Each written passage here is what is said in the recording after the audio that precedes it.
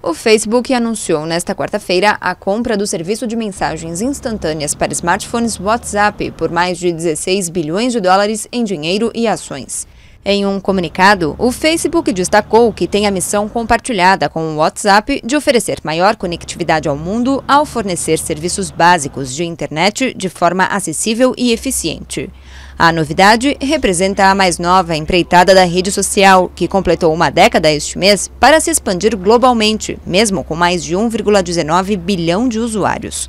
O criador e diretor executivo do Facebook, Mark Zuckerberg, soma uma fortuna estimada em 29,7 bilhões de dólares.